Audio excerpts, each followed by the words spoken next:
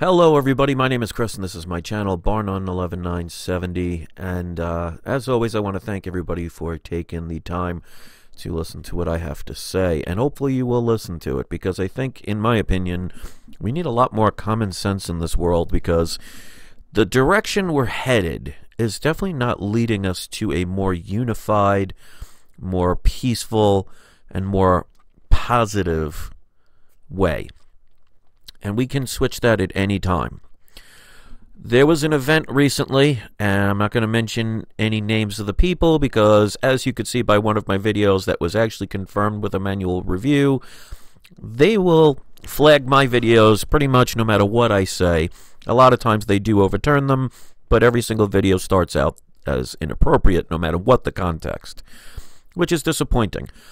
But there was an individual who had a similar kind of frustration with YouTube and took it to the extreme and went on a shooting spree, which ultimately ended in this individual's uh, self inflicted um, end of her life.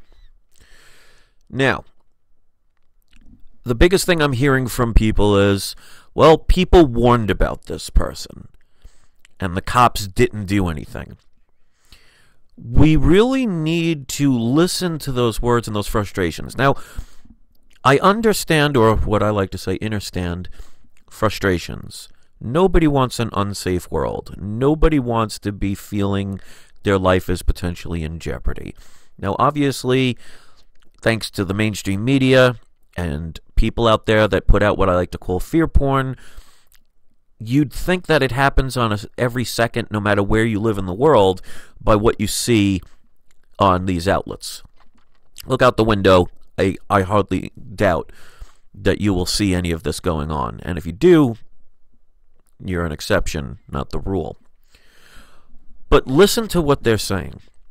And I mean, there are people like um, Rogan, other people out there that are pretty famous in the YouTube world and have a lot of clout, venting their frustrations, which are understandable, but saying, oh, the cops should have done more. Now, last time I checked, at least in this country, the United States of America Corporation, and if you don't know what I mean by that, please check out my video, The Truth About the United States Law and You. 90 minute video, well worth your time. But last time I checked in this country, we are innocent until proven guilty in a court of law. At least that's what it's supposed to be. Nowadays, people can just make an accusation, and if enough people say it, the world becomes a jury. Thankfully, that's not how this system works in the court systems, at least you'd like to hope so. But here's the dangerous slope that we could go on with this, because, like I said, I can understand people's frustrations. They don't want to see tragedies. They don't want to see these crazy people doing harm to others. And if they want to do it to themselves, you know, hey, it's your life. But I can understand the frustration. You cannot base law on future events that have not happened yet. How many people in your life maybe went to a bar or maybe had a, um, a fight with somebody, a loved one, and out of frustration or anger or alcohol or drugs induced situation said, Oh, I'm going to kill that person. I mean, you ever seen guys? I mean, I've worked at bars and have been at bars roughly on a regular basis since 1994. So it's been a little while. You know how many times I've seen fights where two guys are going at it and then they're getting separated and they're both screaming at each other, Oh, I'm going to kill you. Now, at that moment, they may even believe that they wanted to do that. They're caught in the heat of the moment. Adrenaline is flowing, whatever else is in their veins, whether it be a legal or illegal drug, because remember, alcohol is a drug. Should we arrest them and throw them in jail based on the fact of what somebody could do? Because then we're heading down a very slippery slope. Because there are many people in the world that get angry. There are many people in the world that may say very unsophisticated things, saying things that they may later on regret. But does that mean we should punish people for what potentially can be done. Now, people will say, well, look what happened with this event. Well, for every one event like this that happens, there's probably tens of thousands that never see the light of day. And I'll give you a prime example. I'm at the point now I completely hate YouTube. No matter what I do, they will always make my choice on this channel very difficult. Now, obviously, I don't do this for the money, but it did help at the time. It did, it did put gas in my car. It did help pay a few bills. And with over 41,000 subscribers, and as you could see just in the last three videos, going as far back as January 21st, there's only one that reached a thousand, and of the four, one of them was not only flagged as inappropriate, which has nothing inappropriate in it, they manually, supposedly manually reviewed it and still said that it's not appropriate. And if you actually watch the video, and I hope you do, you'll see that what they're doing is ridiculous. So I, I can understand people that get um, get mad, but I have no desire to want to go out and create a harmful situation, not only to other people but to myself. And there are thousands, if not millions, of people who may get frustrated, who may get annoyed, who may even think very not nice things that will never act upon them. And one of the things I've always kept as a motto in my life, and I live to to this day, is just because you can doesn't mean you should. But the situation we're getting is now the media and even people on YouTube, certain people that will do, they will talk about this in such a way that gets views because, you know, people will take advantage of their ability to make money and they will go to extremes and give the people what they want, which unfortunately most people want drama. They don't want logic. They don't want common sense anymore. They want somebody to do something extreme to get their attention and do it as quickly as possible. That's why channels like mine no longer work, because my channel is all about helping people think in another way, doing it in a calm manner. I'm not like Alex Jones trying to scream on the top of my lungs saying the most ridiculous things to get people to view. I want people to think clearly, to think more about what is being done and said at the moment, but the consequences of those actions or inactions there are plenty of people out there that would not do what this person did.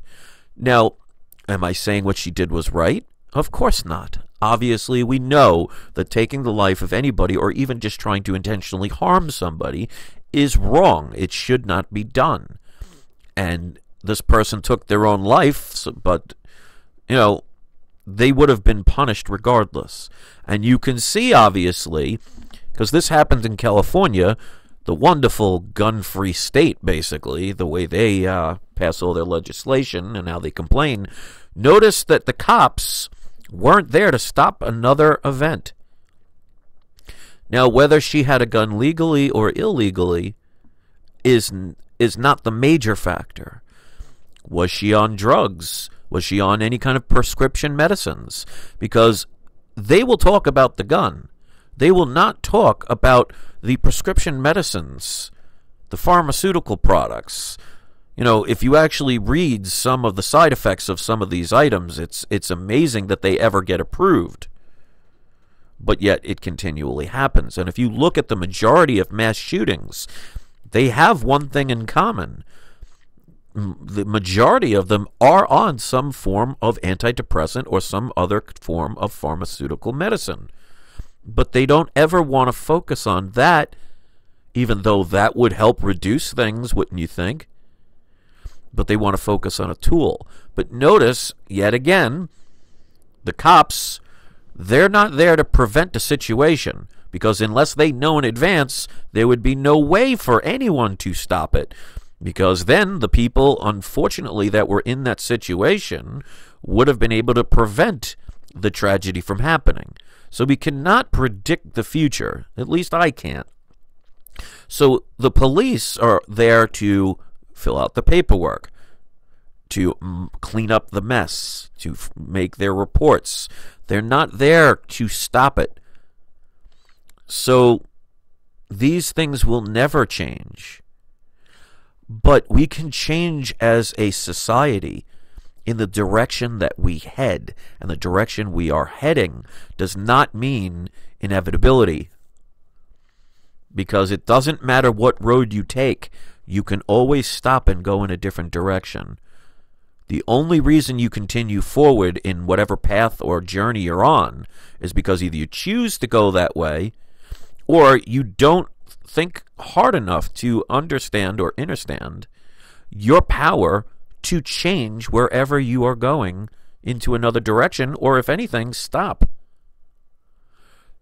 But we need to be very careful about what some people are now trying to scream that, oh, the cops need to stop these people before something happens.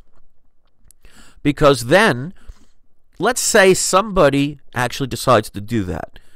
That, let's say, enough people say, oh, this particular person I'm very concerned about this person. They haven't been acting very, you know, normal, and they are maybe piling up guns, or maybe they write very depressing notes all around, or maybe they've been injuring themselves, or whatever situation.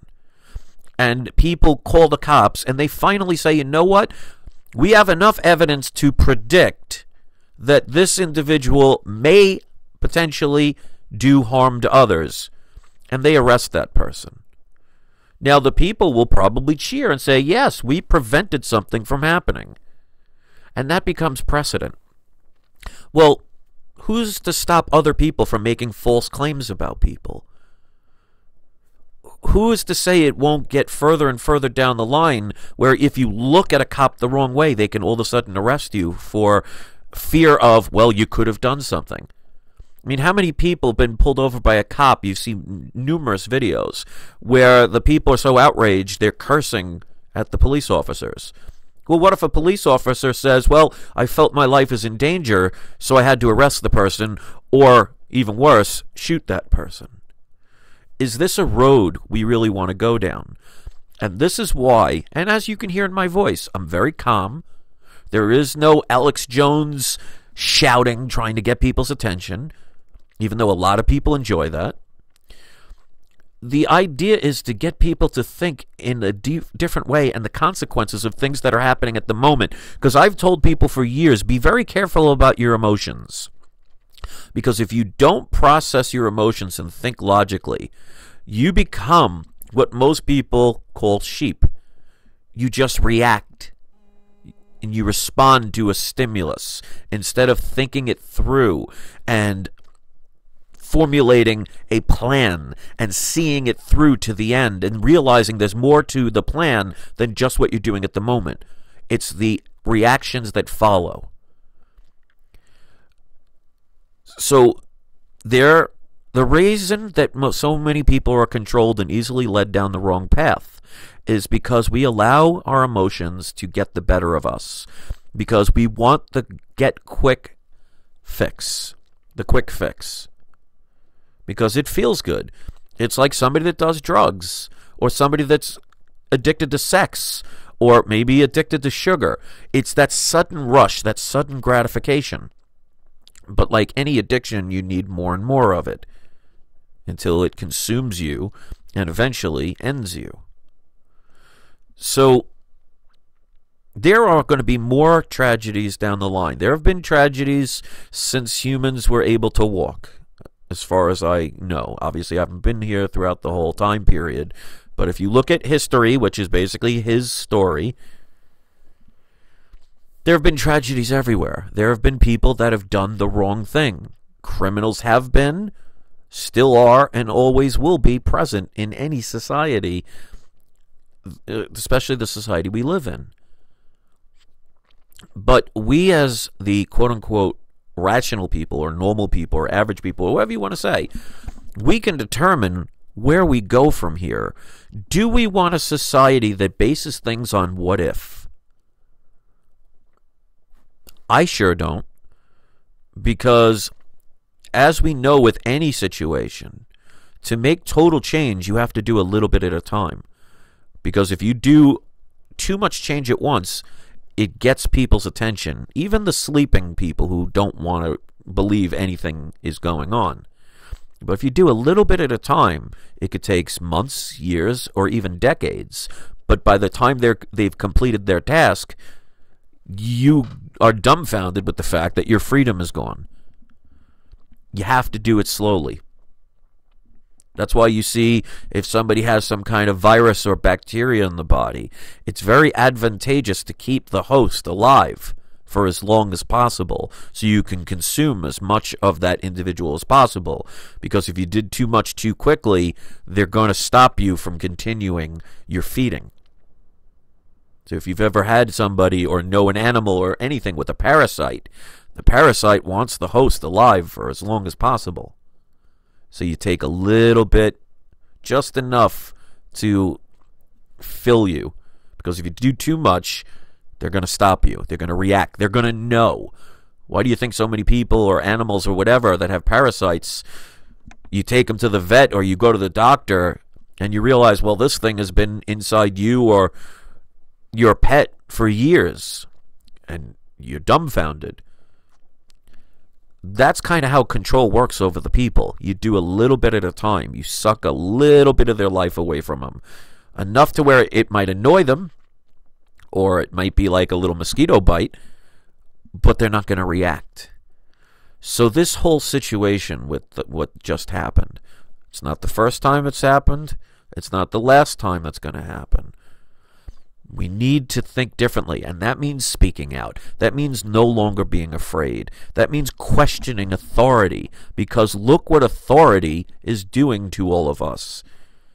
In a world that's become more divided than I've ever seen in my life, more segregation as far as people separating themselves through different races instead of seeing us all as the human race, the division between men and women, the division between the whatever politics you believe in.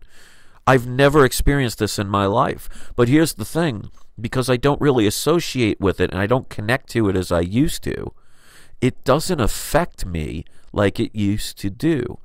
And that's another reason why I don't make as many videos anymore. Because I want to be unplugged from this corrupt system. Because you cannot be persuaded or dissuaded from something if you're unfamiliar with the programming. But that doesn't mean I can't help those that want to listen. Because for the few people that will listen, the few that do appreciate it. And if they help one other person, then that's another person that doesn't have to worry about these situations. So we we cannot use or we should not use our emotions to the extreme where to deal with a situation instead of thinking about it and understanding the situation and where it could lead we just say oh well now we need to base law on guesses and assumptions that's a very dangerous road to go down. That's a road I will never travel because nothing is ever etched in stone. There is no prophecy, there is no destiny, only if you believe it to be. You can change anything. Because if you had a crystal ball or you read an, a, a page in the Bible that said your name specifically and said on April Fool's Day 2019, your destiny and your fate and your whatever says that you will go in the ocean and be eaten by a shark. Well, if on that day you go into the ocean, it doesn't guarantee it, but it will definitely increase your chances of that prophecy coming true. Or you can just say, you know what, now that I know the situation, I've been warned ahead of time, because if you see it as a warning, well, like any warning sign, if you see on the road that the bridge is out, you have a sign that warns you, well, it'd be kind of dumb to continue onward, wouldn't it? The warning sign is there to say, okay, if you continue down this road, the inevitable will happen, but you can always stop and turn around. So I don't look at prophecy or fate or whatever you want to call it as the end of all ends. I see it as a warning sign that says, hey, dummy, bridge is out you may not want to continue because if you do continue, then you fulfill that destiny. You complete that prophecy. But that's only when you choose to do nothing. You can complain while you're driving down that road. You can complain as you're swimming in the ocean and all of a sudden you see a bunch of fins circling you. Well, if you were foolish enough to tempt fate and not change direction, whose fault is that? You may not be able to change the world. Obviously, when I first started this channel, that's what I thought I could do. But you can change somebody else's world, maybe one. Or at the very least, and probably the best, you can change your own world. You know, if you go to some gun rally where there's going to be these anti gun rally protesters at that rally, and it's going to be very heated and there's going to be a lot of arguments, well, if you're in the middle of that, there's a chance you could get injured or maybe even killed. If you decide to stay home, you've reduced that chance. Or if you decided to go to an amusement park with your friends, you've reduced that chance. Until we think for ourselves, until we question things, until we see beyond the moment, things are not going to change. Well, at least they're not going to change for you or the people that you know or the people you hear about. It changes for me because I control my destiny. I always know that no matter what is happening, I can always change it or go in a different direction. You can too. So be very careful about this situation. Because if we allow emotion to rule us all, there's going to be more and more situations that continually happen to get us more and more scared, more and more frightened, more and more confused, more and more wanting somebody else to come in and save the day. And they will be happy to oblige and I've said this so many times, if leaders around the world were doing their job, this world would be a much better place. The fact that more people are heavier than ever, more depressed than ever, poorer than ever, more controlled than ever, more uneducated than ever, would suggest to you otherwise. That they're not doing their job, or at least not doing their job for you. But that doesn't have to affect you unless you choose to do nothing or you choose to do the wrong thing or you choose to just sit there and allow others to say they'll take control. Plenty of people out there that are the Black Widow spider and they want you to go to their web. Good things don't happen when you follow that suit, so don't do it. So I'm not going to make this video too much longer. I want to thank everybody for taking the time to listen. If you listen to the end, please let me know in the comment section because I always appreciate those that will listen to my whole thing. I want you to think for yourself. If you've never seen my channel before, please check out my videos because YouTube is going to make this one automatically flagged. I already know it. It's not a surprise. This is what they do. Uh, they are also going to make sure my videos don't get out there. Make sure even if you have the notification button, you won't be alerted. Sometimes the videos won't even work. This is things I've been told by my subscribers on a regular basis. But it does get through to some people. And that's why I still continue to do these. Just not as much as I used to. Because I'm pulling away from the Matrix. I don't want to be involved as much of absorbing the negativity. But I still want to help when I can. Still maybe be a voice of reason from time to time. And if you think I am, if you want to give it a thumbs up, that's great. If you want to share it, that's even better. Um, if you want to subscribe, please do. But definitely check out my video, "The Truth of, About the United States Law and You." Check the extended version. It's 90 minutes worth your time, and you will learn a lot about what's really happening. And once you have the knowledge, you can change things because the people that go through their lives saying, "I don't know," or they believe what they're told tend to go down the wrong paths. Because most people now that are in control of your life in one way, shape, or form are doing things for their own benefit or their friends' benefit, not your benefit. Because if politicians throughout the world were doing the right thing, this would be a utopia. Everybody would be wealthy. Everybody would be protected. Everybody would feel safe. We're not headed down that path. At least not yet. So see that you're driving on the road.